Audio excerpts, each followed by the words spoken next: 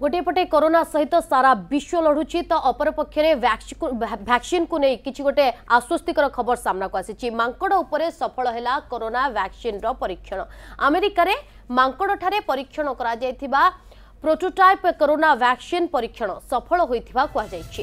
ଏହାଦ୍ୱାରା ମଣିଷଙ୍କ ପାଇଁ କରୋନା ଭ୍ୟାକ୍ସିନ ପ୍ରସ୍ତୁତ ହେବା ନେଇ ଆଶା ସୃଷ୍ଟି ହୋଇଛି ବର୍ତ୍ତମାନ କେତେକ ଦେଶରେ ମଣିଷ ଶରୀରରେ କରୋନା ଭ୍ୟାକ୍ସିନର ପରୀକ୍ଷଣ କରାଗଲାଣି କିନ୍ତୁ ଏହା କେତେ ଦୂର ସଫଳ ହେବ ତାହା ଜଣାପଡ଼ିନାହିଁ ଆମେରିକାର ୱାଲ୍ଟର ରେଡ୍ ଆର୍ମି ଇନ୍ଷ୍ଟିଚ୍ୟୁଟ୍ର ସଂକ୍ରାମକ ରୋଗ ଗବେଷଣା କେନ୍ଦ୍ରରେ ଏହି ଭ୍ୟାକ୍ସିନ ପ୍ରସ୍ତୁତ କରାଯାଇଛି ଏହି ଭ୍ୟାକ୍ସିନ ମାଙ୍କଡକୁ କରୋନା ସଂକ୍ରମଣରୁ ରକ୍ଷା କରିଥିବାରୁ ମଣିଷ ପାଇଁ ମଧ୍ୟ ଭ୍ୟାକ୍ସିନ ପ୍ରସ୍ତୁତ ହୋଇପାରିବ ବୋଲି ଏହାର ନିର୍ଦ୍ଦେଶକ ନେଲସନ ମାଇକେଲ କହିଛନ୍ତି କରୋନା ଭ୍ୟାକ୍ସିନ ପ୍ରସ୍ତୁତ କରିବା ପାଇଁ ସାରା ବିଶ୍ୱରେ ଶହେରୁ ଅଧିକ ଗବେଷଣା ଚାଲିଛି।